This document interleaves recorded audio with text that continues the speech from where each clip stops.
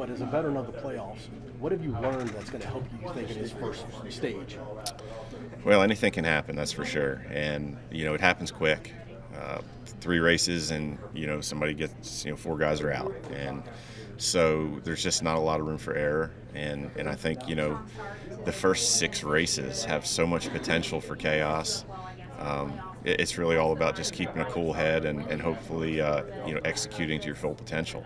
That's really what matters, and um, do all you can to not get eliminated. That's the name of the game. When we talk about the first three races, you mentioned the first six, so crazy. It's like the first three, even super speedway, road course, or short track. How crazy is that first one? And it's the wild card at all of them still, right?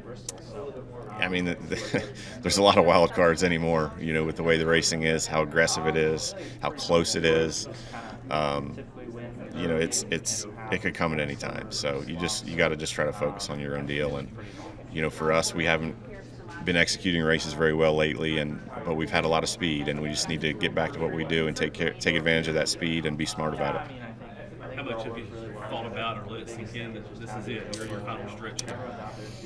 Yeah, I mean, I, I I, I, think it's kind of sunk in. You know, I, I'm not sure what, what it'll feel like when it comes to an end, but you know, right now I'm still enjoying it, having fun, and uh, yeah, just looking forward to the next 10 weeks, and you know, hopefully we'll, we'll get the job done, and then uh, we can go off and have some fun.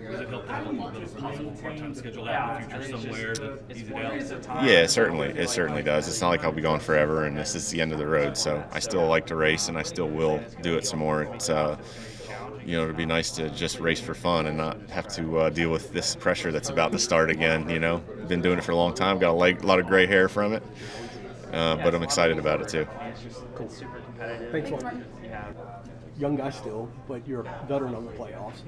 If you go back and look at your first year compared to now, what have you learned, and maybe how's the mentality changed in the times you've been in the playoffs?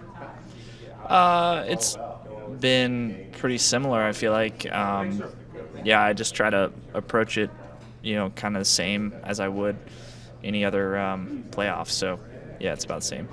First three races, well, actually, the first six are just wild cards in themselves. But how crazy is that first leg when you go from super speedway, road course, to short track? Uh, yeah, it's just each one takes a little something different. So, um, yeah, the, the, first round is definitely a lot of different tracks, and Watkins Glen's its own beast, and um, just have to approach it race by race how do you, in your in your racing mindset, going into the playoffs, out of the regular season, how do you approach races in the, in, your, in the aggressive manner? You know, be up front, conserve, or take what the car will give me. How do you process it differently in the playoffs, or do you? I don't think I really do. I think you just try to, you know, get as much points as you can. So uh, just try to have a good good three stages and, and not have any major mistakes. As a competitor, how much do you this part of the calendar and having the opportunity to be in these high stakes races and be with 15 of the other top guys in the game and try to win championship? I love it. I think um, you know this is where we want to be every year. So um, right now it's just about putting the work in and, and getting to work with my team, and that's all I'm really focused on you heard from another driver earlier just about how racing is somewhat different now for guys. Even if you spread anywhere out in the field, does the strategy change at all, knowing kind of where the other playoff guys are? How does what kind of goes into that in terms of what you guys are doing? Yeah, I mean some, but it's more for it's more for those guys on the strategy side. I think for me, it's easy to tell you know yellow spoilers out there. So um, as you get further down in the playoffs, you know that you know in the round of eight you're going to have to be one of those top three or four. But uh, right now it's just about about focusing on yourself. Joseph. Bradley, how are you? Good. Good. He gave me this hat. I was looking at it. So I'm wearing it. Nice. Does it look like a 90s hat? It looks like a 90s Hornets hat. Yes, it does. it's stealthy. It's a little different. All right. So,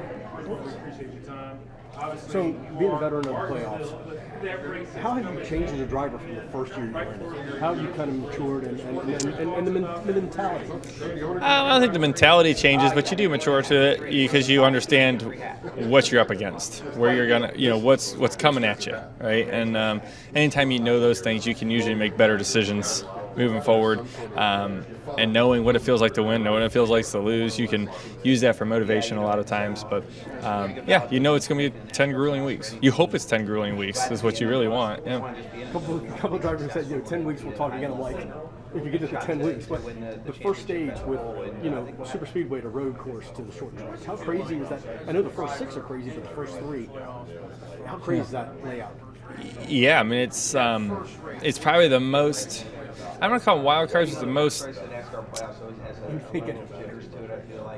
like just unique, I guess, um, round that we've ever had. Uh, when you think of what Atlanta can be, Watkins Glen, there's a lot of changes there, and it's a road course.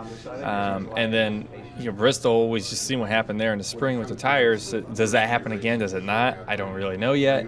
Um, so I think there's there's a lot of question within the first round of, of what's going to happen. So um, you just go for base hits, right? That's what you go for. Easier said than done, um, but you know you got to survive. That's the big thing about this this playoff format, the way it goes. You just got to keep surviving, keep yourself in the in the rounds and moving on, and um, you know hopefully you are able to win the right ones and you're able to, to gain the speed that you need throughout the, the 10 weeks.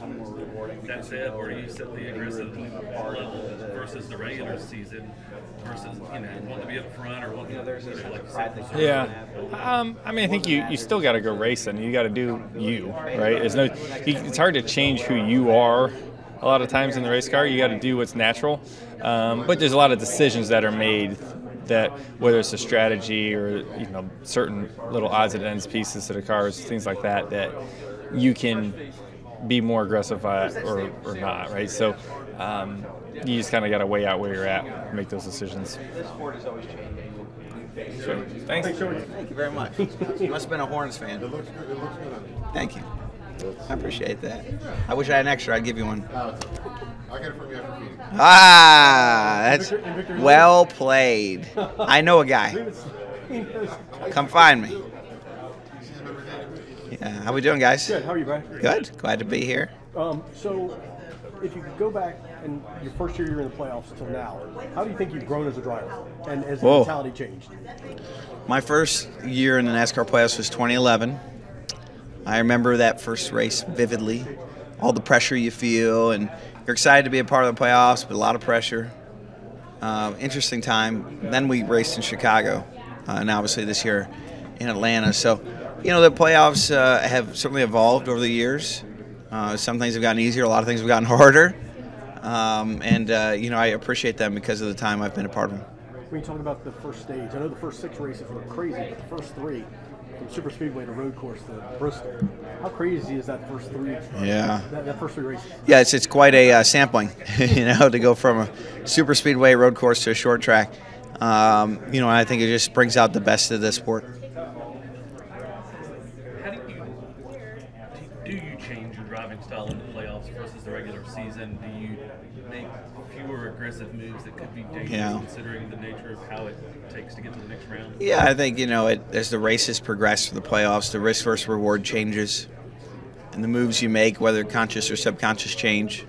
Uh, and it's part of the, the storyline of what makes the NASCAR playoffs so interesting. Talking about kind of the excitement, maybe the nerves of your first playoff. You're better at this point, but now you're back to another opportunity for a championship. Does the excitement level kind of stay the same, or, or what are the, uh, the, the interior emotions like going into uh, another Yeah, playoff for you? yeah. I mean, the excitement level is still high.